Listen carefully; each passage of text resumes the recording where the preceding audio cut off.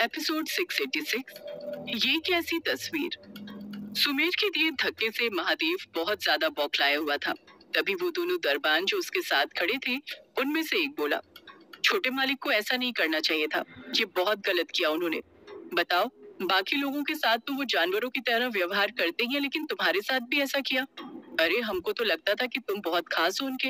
इससे पहले कि महादेव उसकी बातों का कोई जवाब देता, उसके साथ खड़े दूसरे दरबान ने कहा अरे, काहे का खास?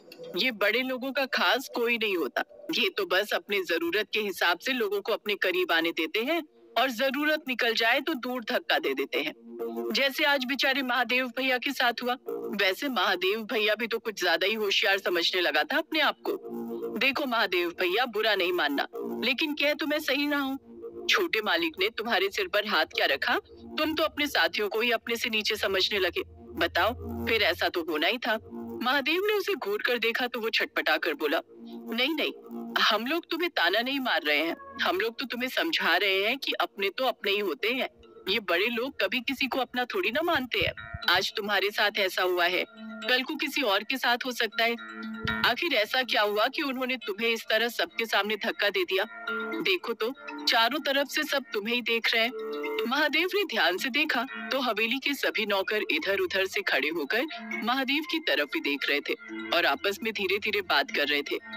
कुछ के होठों पर तो मुस्कुराहट भी दिखाई दे रही थी। ये वही लोग थे जिसके साथ कभी न कभी महादेव से कोई बहस या फिर झगड़ा हुआ था।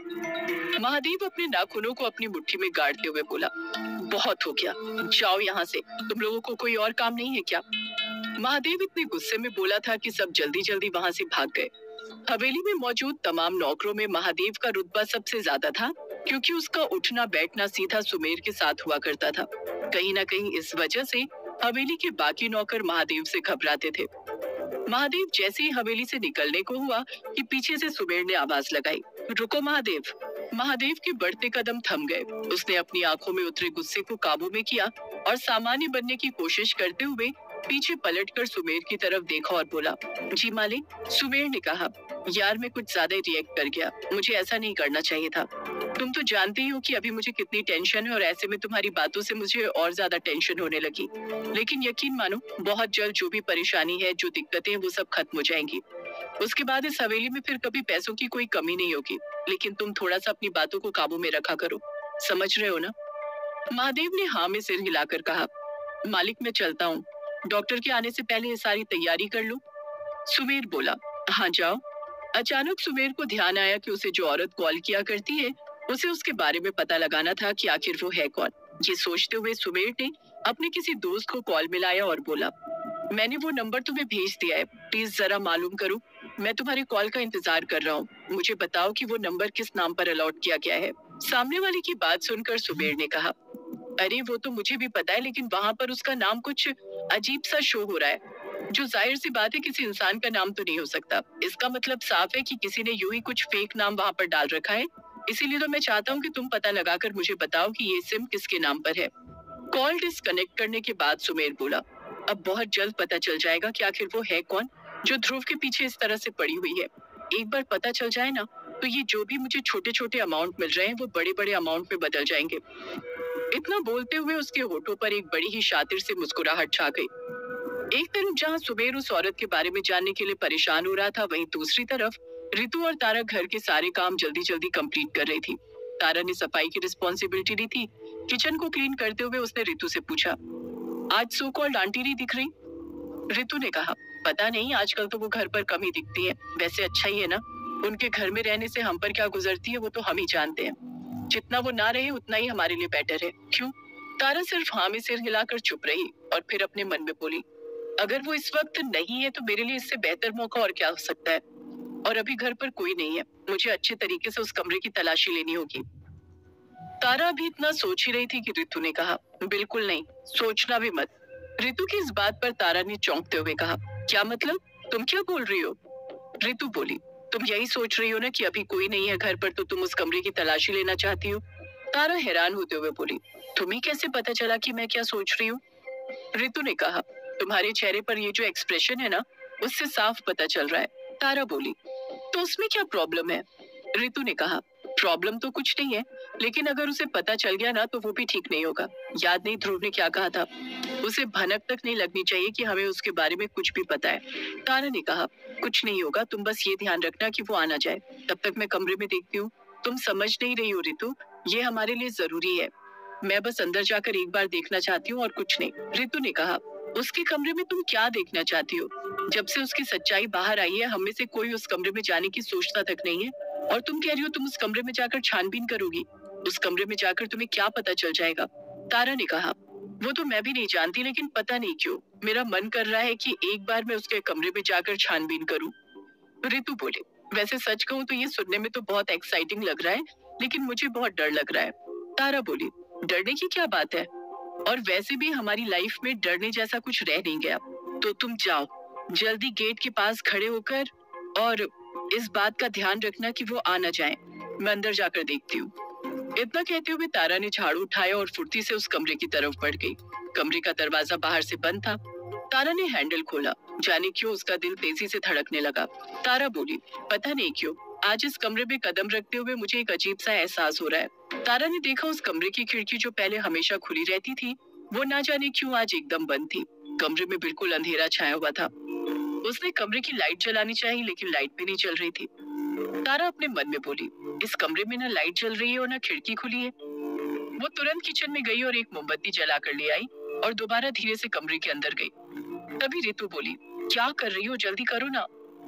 तारा ने कहा, यार, इस कमरे में पूरा अंधेरा है। खिड़की भी बंद है, इसलिए मैं ये मोमबत्ती जला कर लाई हूँ। समझ भी नहीं आता इस कमरे को इस तरह से गुप्त कक्ष बनाकर क्यों रखा हुआ है। मुझे तो लगता है हम लोगों ने इस तरफ़ से कुछ ज़्यादा ही लापरवाही की है और उसने इस बात का पूरा पूरा फ़ायदा उठाया है। रितु बोली, वो सब छोड़ो, जो करने गई हो, वो करो। इतना कहकर रितु वापस दरवाजे के पास चली गई और वही सीढ़ियों पर बैठकर अपने मोबाइल में कुछ करने लगी। लेकिन उसका पूरा ध्यान बाहर की तरफ़ ही था कि अगर बाहर से कोई आए तो वो तुरंत तारा को सतर्क कर सके। तारा को उस कमरे में कुछ भी अलग सा नज़र नहीं आ रहा था। सब कुछ वैसे का वैसा ही था। एक कोने में बेड था, जो अपनी जगह पर था और दूसरे कोने में अलमारी रखी हुई थी। इसके अलावा उस कमरे में बस एक बैग था, जिसमें विकी की माँ का सामान था जो कि वो अपने साथ लेकर आई थी। जानी तारा के मन में क्या आया? उसने उस बैग को खोलकर देखने का फैसला किया। तारा ने धीरे से उस बैग को खोला तो उसने देखा उसमें कपड़े रखे हुए थे। तारा बोली, क्या मैं भी इस बैग को देखने बैठ गई हूँ? ज़ाहिर सी बात है वो पूरे प्लान के साथ आई है तो कपड़े वगैरह नॉर्मल इंसान की तरह ही लाई होगी।